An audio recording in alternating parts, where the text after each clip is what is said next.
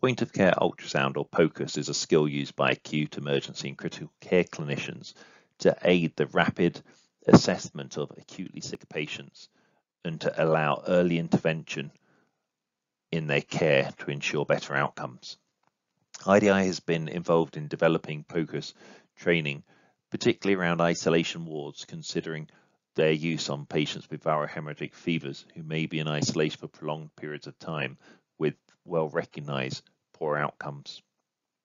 This training has been developed for use with around COVID-19 and other respiratory conditions.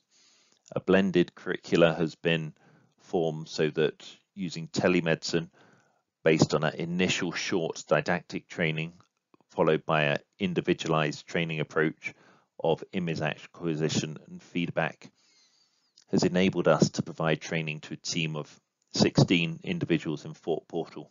14 of whom in total completed their training in the required timescale.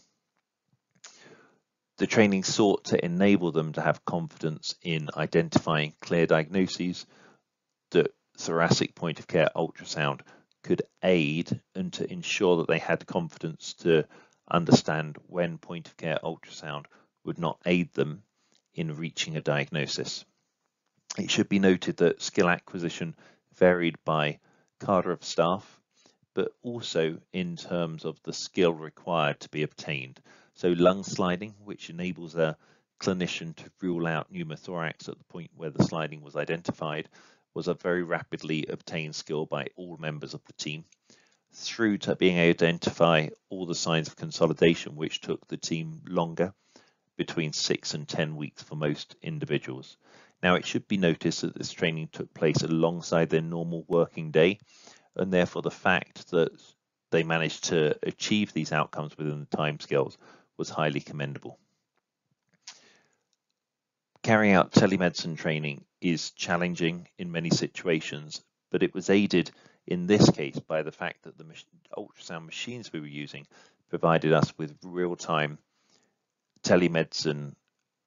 image acquisition so that we could talk through different members of the team who were learning by seeing the images that they were seeing at the same time. This enabled us to build the confidence of our team so that 70% of the team at the end of training are still using their ultrasound skills in clinical practice regularly. It should be noted that there are many unanswered questions about POCUS and there is room for further research here in Uganda to aid us in identifying how best to use it in these sickest of patients.